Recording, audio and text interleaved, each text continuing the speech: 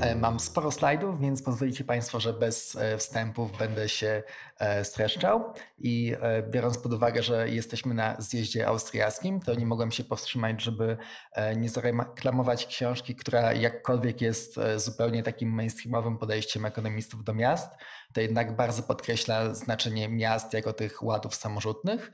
I nawet autor odwołuje się do, e, zarówno do Hayeka, jak i e, Fergusona i, um, i sam autor jest dla nas ciekawy, ponieważ Alan Berto jest takim jakby miejskim planistą, który jest nawet, niektórzy żartują, że jest takim Indianą Jonesem planowania przestrzennego, ponieważ pracował w bardzo wielu takich egzotycznych krajach, od Haiti przez E, Rosję, Meksyk, Bangkok, Chiny, Europę Środkowo-Wschodnią, e, Algierię, e, ale również w takich miastach typu Paryż czy Nowy Jork. I to, co jest dla nas w nim ciekawego, to że on bardzo wcześnie zainteresował się również ekonomią, bo odkrył, że widzi różne takie prawidłowości empiryczne w miastach, kiedy pracuje jako jakiś miejski planista, e, których jego studia architektoniczne nie są w stanie e, wyjaśnić, ale które bardzo dobrze tłumaczy ekonomia, bo ekonomiści dużo lepiej e, rozumieją popyt i podaż i te wszystkie samorzutne zjawiska. I tutaj warto podkreślić taką bardzo istotną różnicę pomiędzy właśnie urbanistami i pomiędzy ekonomistami zajmującymi się miastami, bo tak naprawdę urbaniści, urbanistyka jest e, tradycyjnie uczona na wydziałach, e, na wydziałach architektury. To są tak naprawdę architekci. E, więc e, jeżeli ekonomista słuchając urbanisty ma taki dysonans poznawczy, to dlaczego, że urbanista myśli o mieście tak samo jak architekt myśli o budynku. E, myśli po prostu, jak stworzyć najlepsze możliwe miasto według według jakichś kanonów, które są utarte w urbanistyce, a takie rzeczy typu popyt, podaż, e, rynek e, czy ceny nieruchomości są tylko dla niego jakimś takim e, zewnętrznym, niechcianym ograniczeniem zamiast źródłem kluczowych informacji. I Berto uważa, że właśnie to, że ekonomiści miast i planiści miejsc z sobą praktycznie nie mają żadnego kontaktu i ta dyskusja i polityka miejska w tej chwili jest całkowicie zdominowana przez urbanistów, E, jest e, źródłem wielu problemów, które w miastach widzimy, e, które zresztą opisuje dość dobrze ekonomia miast, tylko jest cały czas dość słabo nagłośniona w polityce publicznej, bo te wszystkie problemy, które, w których regulacje zniekształcają to, jak miasto rośnie, czy podnoszą ceny nieruchomości, czy mm, no, blokują budowę nowych mieszkań, one są całkiem nieźle E, przez ekonomistów e, opisane. E, I przechodząc do właściwej prezentacji, będę miał cztery części. Najpierw zacznę od takich podstaw ekonomii miast, później przejdę do tego, jak bariery regulacyjne mogą blokować budowę nowych mieszkań, podnosić ich ceny. Następnie przejdę do barier regulacyjnych rynku najmu i zakończę problemem państwowych mieszkań, które no w Polsce są trochę problemem samym w sobie niestety. I zaczynając, Berto uważa, że jakby to jest takie podejście właśnie ekonomistów miast, że miasta e, to rynki pracy. Jakby to brzmi e, tak bardzo radykalnie redukcjonistycznie, ale to jest właśnie ta podstawowa funkcja miast, dzięki którym e, miasta rosną i o której ekonomiści muszą pamiętać że jakby miasta mogą być e, piękne, mogą mieć wiele innych e, pozytywnych cech, ale musimy pamiętać, że naj, najważniejsze jest to, żeby działało jako rynki pracy, bo to jest ten cel, dla którego ludzie do nich przyjeżdżają.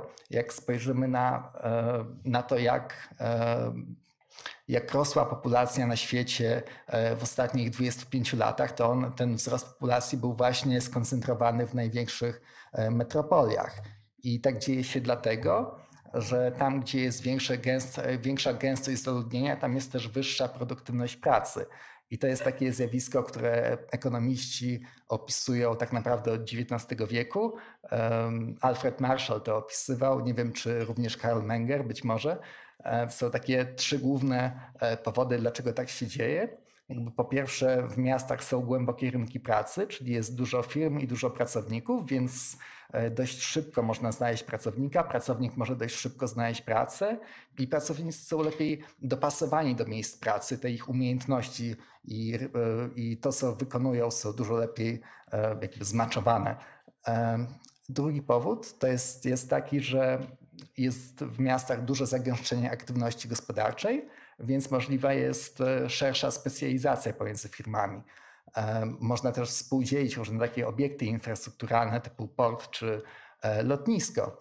A trzeci powód jest być może najważniejszy, to jest to, że w miastach szybciej rozprzestrzeniają się innowacje.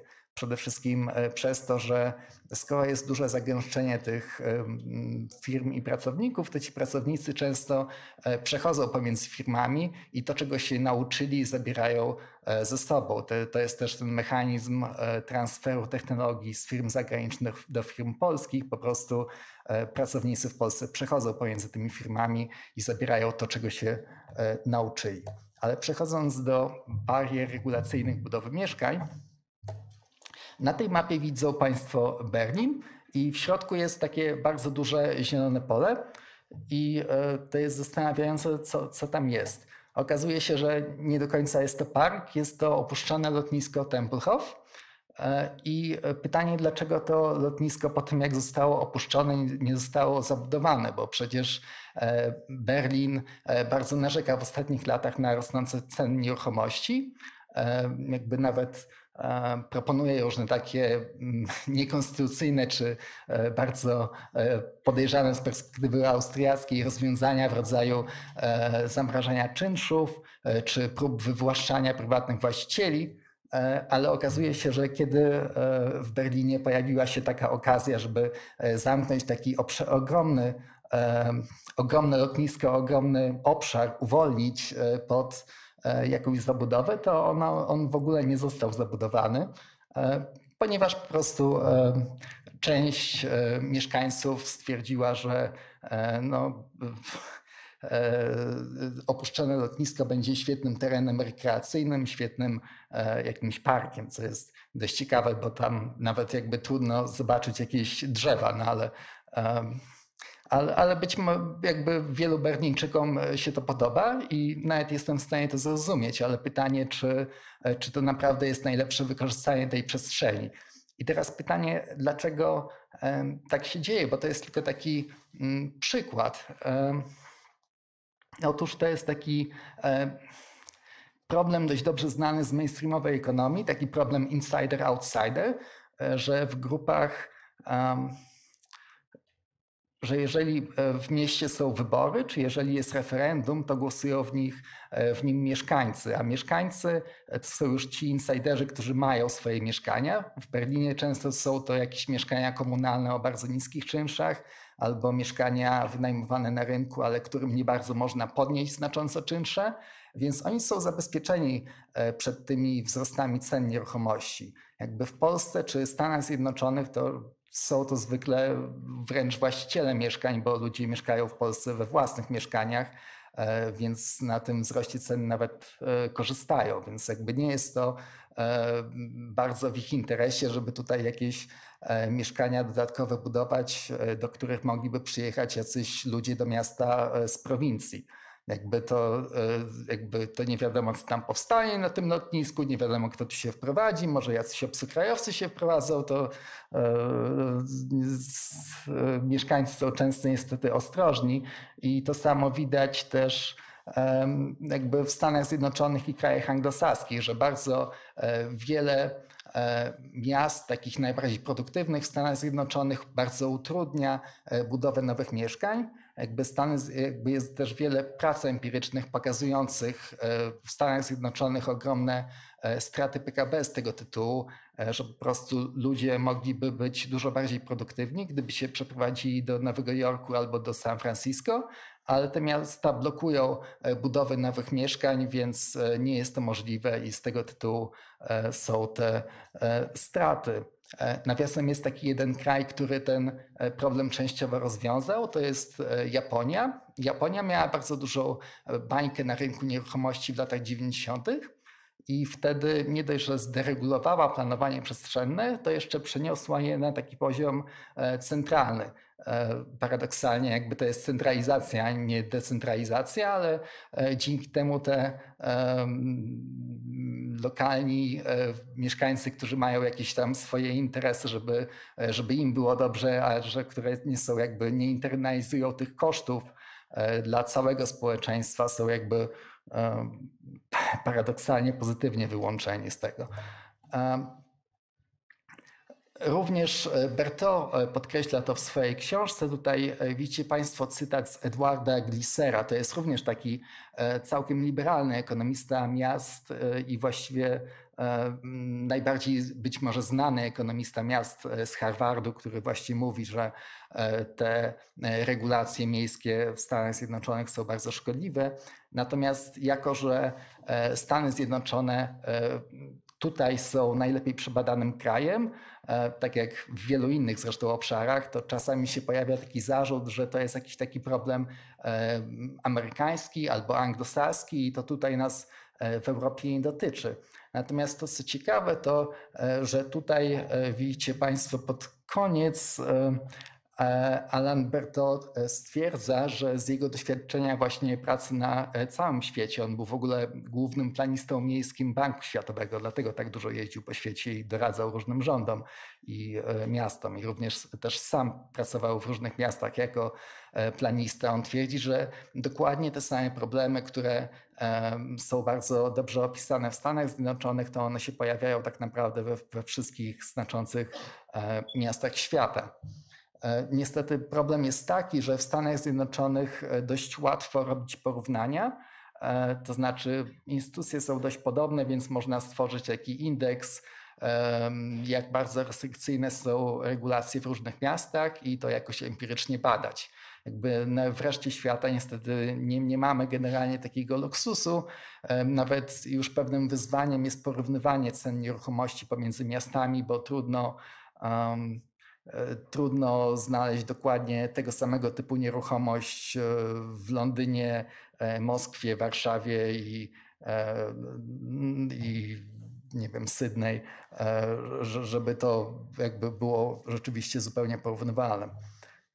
Ale tutaj mamy taką próbę na tym wykresie. To jest takie porównanie kosztu mieszkań w poszczególnych miastach świata E, ale jak widzicie Państwo, te e, zaznaczenie tutaj e, tych miast, które bardziej regulują i tych miast, które mniej regulują jest takie bardzo toporne. No, to jest taka jakby trochę ekspercka metoda. Na czerwono zaznaczone są miasta, które ograniczają, w których ograniczany jest rozrost miast, to, to tak zwane rozlewanie się miast. E, co e, podnosi e, ceny mieszkań. No bo jakby w debacie publicznej rozlewanie miast jest bardzo krytykowane, ale wśród ekonomistów miast ono jest raczej widziane jako taki normalny proces. Jakby każde miasto rośnie z jednej strony przez to, że buduje coraz wyższe budynki, rośnie jego gęstość, a z drugiej strony przez to, że rozrasta się, jeżeli chodzi o powierzchnię, coraz większą powierzchnię zajmuje. E, więc jeżeli e, władze próbują e, no albo nakładać jakieś ograniczenia wysokości budynków, albo jakieś ograniczenia przestrzenne rozrostu miast, no to naturalnie ceny muszą niestety rosnąć od tego. Przechodząc do Polski, w Polsce również nie ma taki, tego typu indeksów, ale mamy różne takie przybliżenia, na które możemy patrzeć. Na przykład tutaj widzicie Państwo pytanie, które GUS zadaje e, firmom budowlanym. Chodzi nie tylko o budownictwo mieszkaniowe, e, tylko po prostu o, o wszystkie firmy, które coś e, budują w Polsce. czy barierą ich działalności, działalności są niejasne, niespójne i niestabilne przepisy prawne. I w 2010 roku, kiedy GUS zaczynał zadawać to pytanie, to było niecałe 15% firm, a teraz e, w październiku to już jest 44% firm e, zgłasza taki problem, więc jakby problem e, wydaje się, że wzrósł trzykrotnie i coś, coś tu jest na rzeczy z tymi regulacjami budowlanymi w Polsce, być może rzeczywiście. Jest jakby podchodząc od strony już bardziej inwestorów, deweloperów, spółdzielni budowlano-mieszkaniowych, to jeżeli chcemy zbudować w Polsce jakąś inwestycję mieszkaniową, E, to mamy takie dwa kluczowe e, typy decyzji, o które się e, staramy. Jedna to jeżeli tam, gdzie chcemy budować, nie ma miejscowego planu zagospodarowania przestrzennego, to musimy zapytać urzędnika o to, jak, jak możemy ten teren zabudować, czyli musimy wystąpić o decyzję warunków zabudowy.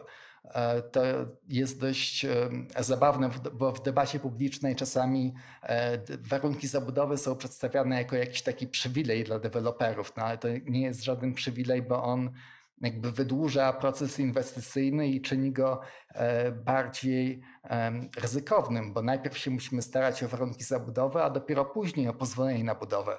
Więc jakby ten proces jest znacznie dłuższy, plus jak widzicie Państwo na wykresie, warunki zabudowy w Polsce prawie nigdy nie są wydawane w ustawowym terminie.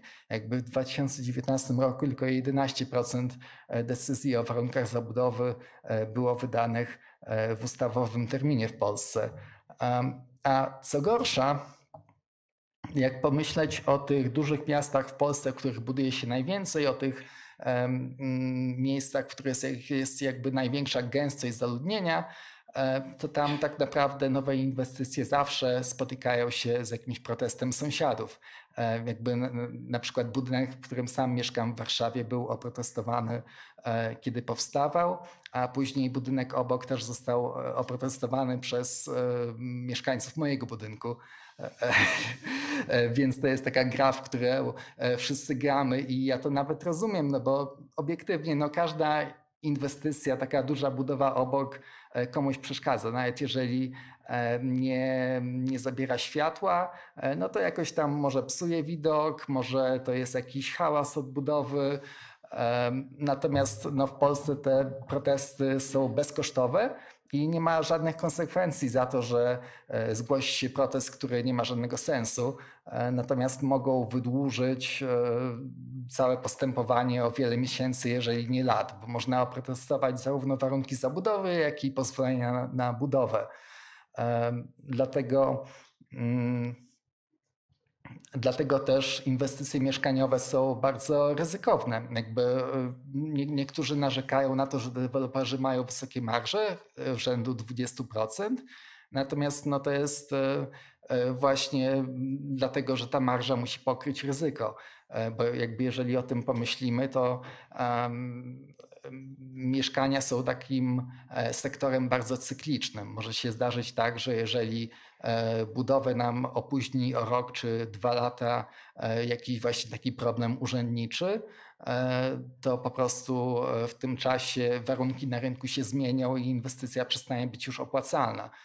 Nie, nie, nie możemy też z góry umówić firm, firm budowlanych, nie możemy z góry wziąć kredytu. Jeżeli nie wiemy, kiedy będziemy mogli e, tak naprawdę zacząć umowę, bo, e, e, zacząć budowę, bo tutaj widzicie Państwo jakby statystyki odnośnie warunków zabudowy i pozwolenia na budowę, ale już statystyk odnośnie tego, ile trwają odwołania od nich, niestety nie ma i z takich anegdotycznych historii z Warszawy one mogą trwać dużo dłużej. E, no bo najpierw idziemy przez te różne organy administracji, e, a później jeszcze być może nawet e, wojewódzki sąd administracyjny czy naczelny sąd administracyjny, w których to już są terminy rzędu roku czy dwóch. Przechodząc dalej, tutaj jeszcze spojrzałem na te warunki zabudowy i pozwolenia na budowę w 2015 i 2019. E, jakby w tych samych miastach i okazuje się, że one również, e, tak jak tamte regulacje budowlane się pogarszają, to e, również wydawanie tych decyzji się wydłuża. Tutaj widzicie Państwo mm, czasy wydania decyzji o warunkach zabudowy dla inwestycji mieszkaniowych w 2019 roku dla różnych miast. I to jest tak uszeregowane, że e, z jednej strony są te miasta, w których, e, jakby od miast, w których się buduje najwięcej, do miast, w których się buduje najmniej. No i najwięcej się buduje w Warszawie, e, Krakowie i Wrocławiu i widać, że w tych miastach wydaje się, że jest trochę gorzej niż w średniej. No, Kraków w 2019 nie poradził sobie z wydaniem ani jednej decyzji o warunkach zabudowy w ustawowym terminie na przykład. Więc ta średnia dla Polski może trochę zaciemniać obraz. Tutaj z kolei mamy to samo dla pozwoleń e, na budowę. E, no tutaj e, Kraków już dał radę, nie wiem, mniej niż 5% wydać w terminie. No to, to już minimalnie lepiej. Ale przechodząc do kolejnego tematu, bariery regulacyjne rynku najmu. E, na wykresie widzicie Państwo populację zamieszkającą e, mieszkania, które posiada na własność, w sensie, że mieszkamy we własnym mieszkaniu, a nie wynajmujemy od kogoś. I w Polsce i Europie Środkowo-Wschodniej to jest wyjątkowo wysoki odsetek na tle Unii Europejskiej. I to jest oczywiście po części dlatego, że e, prywatyzowaliśmy po, po PRL mieszkania i do dzisiaj na szczęście prywatyzujemy, E, ale z drugiej strony jest to też e, taki bardziej negatywny powód, e, dlatego że w realnym socjalizmie nie istniał rynek mieszkaniowy, to znaczy rynek najmu. I dopiero ten rynek najmu w Polsce i innych krajach naszego regionu tworzymy. Tutaj nie ma Szwajcarii, ale w Szwajcarii jest jeszcze nawet mniej osób posiada mieszkanie na własność niż w tych Niemczech. Y, jakby dopiero teraz, y, zresztą słyszymy dużo w mediach o tym procesie, że wchodzą do Polski e, duże zagraniczne korporacje, które e, mogą kupić tysiące mieszkań, żeby e, je wynajmować, bo w tej chwili nasz rynek jest bardzo zdominowany przez takie osoby, które wynajmują jakieś pojedyncze mieszkanie po babci, czy kupili mieszkanie dla dzieci i na razie je wynajmują, albo no, szczęśliwi ludzie, którzy byli w stanie się dorobić 10 mieszkań, i dobrze z tego żyją, ale nie są to wyspecjalizowane firmy, które wynajmują tysiące mieszkań i dzięki temu to ryzyko problemów z lokatorem mogą dywersyfikować na e, bardzo dużą liczbę tych e, lokali mieszkalnych. Mogą też mieć standaryzowane umowy, no bo mają swoich prawników, które jakby umowy lepiej zabezpieczają zarówno właścicieli, jak i e, lokatorów mogą, mają długookresowy horyzont też działalności, więc jak się wprowadzimy do takiego lokalu, to e, możemy go pomalować, e, umeblować. Wiemy, że będziemy mogli e, w nim zostać w długim okresie, a nie tak, że po prostu syn właściciela podrośnie i będziemy się musieli wyprowadzić. I tak z perspektywy ekonomistów, to najem ma wiele pozytywnych skutków. E, na wykresie widzicie Państwo, że e, tam w krajach, w których e, jest więcej najmu, to dzieci się wcześniej wyprowadzają od rodziców. I po prostu dzieje się tak dlatego, no, że oczywiście łatwiej wynająć mieszkanie niż je kupić. Ale wydaje mi się, że może nawet ważniejsza intuicja jest taka, że jeżeli e, ja kupię mieszkanie w Warszawie na 30-letni kredyt, to pewnie mniej będę skłonny szukać jakiejś lepszej pracy we Wrocławiu, nawet jeżeli mógłbym dostać tam e, lepiej płatną pracę, e, to są tam jakieś koszty transakcyjne, których nie będę chciał ponosić w związku z taką właśnie przeprowadzką, podczas gdybym wynajmował, to byłbym dużo bardziej prawdopodobnie elastyczny. Zresztą, jak myśleć, jak no przynajmniej e, mainstream ekonomii myśli o produktywności w sensie, w sensie total factor productivity, e, to to jest ta produktywność, to jest to, jak, jak efektywnie łączymy zasoby pracy i kapitału e, ze sobą. E, czyli tak naprawdę, e, jeżeli, jeżeli te zasoby pracy są bardziej elastyczne, e, mniej przypisane do jakiegoś obszaru geograficznie, no to naturalnie będzie to też pozytywne dla produktywności. Natomiast w Polsce mamy ten problem, że prawo najmu jest e, bardzo słabe i to nie tylko dla właścicieli, których słabo zabezpiecza przed, przed jakimiś lokatorami, którzy mogą ewentualnie niszczyć mieszkanie czy nie płacić, ale również dość kiepsko zabezpiecza samych lokatorów. E, ale zaczynając od początku, e, widzicie Państwo taką tabelkę, którą zrobiłem kilka lat temu. To jest takie porównanie wyjątków od eksmisji w różnych krajach i w Polsce wysz, wyszło mi najwięcej wyjątków przy jakimś procesie eksmisyjnym wśród wszystkich krajów OECD. Z kolei ze strony lokatorów jest taki problem, że mm, umowy dość słabo zabezpieczają ich przed przerzucaniem na nich jakichś kosztów, które w tej umowie nie były wcześniej zapisane albo też e, no, zwykle umowa e, nie zabezpiecza ich przed jakimiś nagłymi podwyżkami czynszu, które mm, jakby nie wynikają wcześniej z tej umowy, jakby mogą być nimi e, zaskakiwani.